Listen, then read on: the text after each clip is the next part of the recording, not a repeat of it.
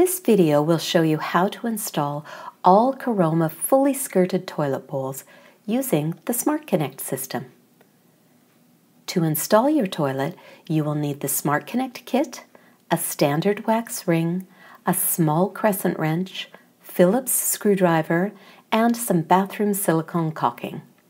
It's also not a bad idea to wear gloves, especially if this is a toilet replacement, as the rough-in might not be as clean looking as our demonstration area is here.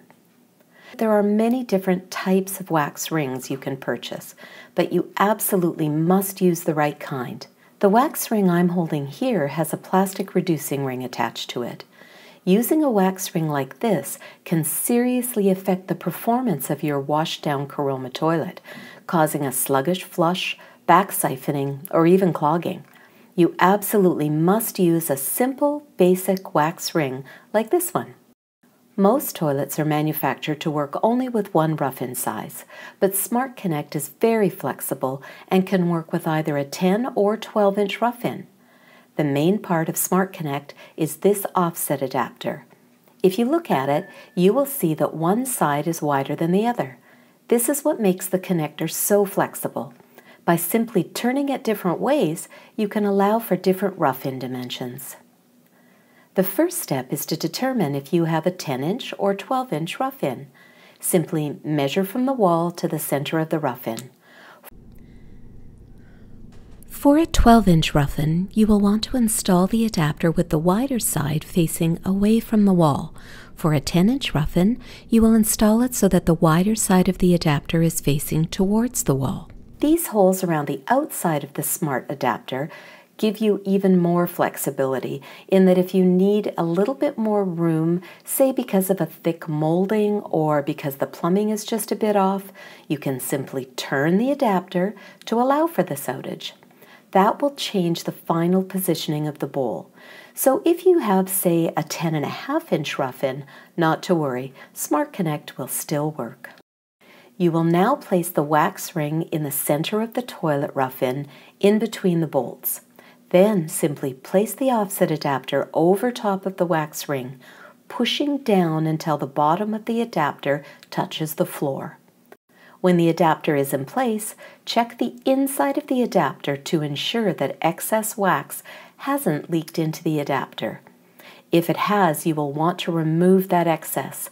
Remember, this is where water and waste travels through to your plumbing systems. Excess wax buildup here may eventually cause a blockage. Next, you will need to place the fixing brackets on either side of the adapter.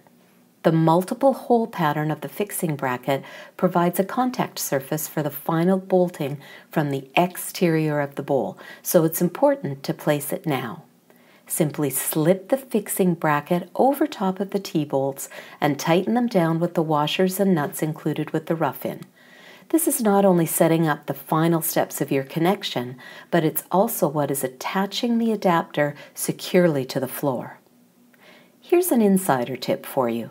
Depending on the placement of the adapter in your environment, it can be really difficult to get in to tighten the nuts over the T-bolts. If this is the case, you can simply pull off the top portions of the adapter like this, giving much more room to work. Make sure that they are tightened down, but don't over tighten as that will affect the positioning of the bracket. Once both brackets are tightened, if you have removed the top portions of the adapter, just place them back on. Tidy up the area around the adapter and ensure that the entire area is clean and free from all building materials and debris. It's now time to place the toilet onto the adapter. If you look at the bottom of a fully skirted Caroma bowl, it will look like this. The round portion of the base fits inside the offset adapter, giving a nice tight seal. Once you have placed the bowl over top of the adapter, you will insert the plastic bushing, brass bushing, and stainless steel screw into each of the side holes, turning with a Phillips screwdriver until tight. At this point, the screw is going into one of the holes on that fixing bracket you attached to the offset adapter. This step secures the bowl directly to the offset adapter and the rough-in. Insert the second screw in the same manner on the other side of the bowl, then pop the decorative cap on top of the brass bushing to make the whole installation almost invisible. Run a bead of silicone caulking around the base to prevent any water from getting under the bowl. Make sure to leave a 1 inch opening at the back. You have now finished the bowl installation. The complete installation instructions are included with every Caroma bowl, and if you need further assistance, just give our customer service team a call at 1 800 460 7019. We're here to help.